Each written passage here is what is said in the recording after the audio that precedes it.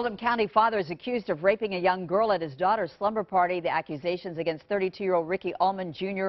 are startling. But tonight, he's defending himself, speaking only to WLKY's Jessica O from behind bars.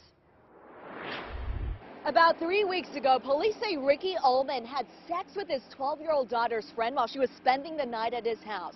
Today, in an emotional interview, he told us that simply is not true. This did not happen. I did not have sex with no 14, 15 year old little girl. Ricky Ullman Jr. has a daughter around that age and says what he's accused of is unimaginable. What would you think if someone was accused of doing this to your daughter? I would kill somebody. Something like that ever happened.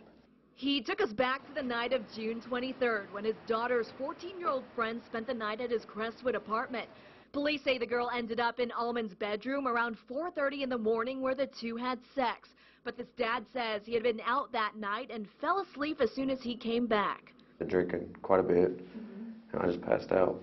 Ullman's 12-year-old daughter, the only other person who was inside the apartment when this allegedly happened, backs up her father's story, saying she was with her 14-year-old friend the entire night, so there's no way this could have happened. Prior to the alleged incident, police say the two exchanged inappropriate text messages, but Ullman says the young girl was responsible for most of it. There's some pictures and stuff she sent me of just like her top, and then like she'd say she wanted sex with me, and I always ignored those messages. As the investigation continues, Ullman says he's trying to figure out how rumors landed him behind bars, and he's hoping the truth eventually comes out. It's devastating. It's it's hard. So I don't know, you know, what she's thinking or what she's thought.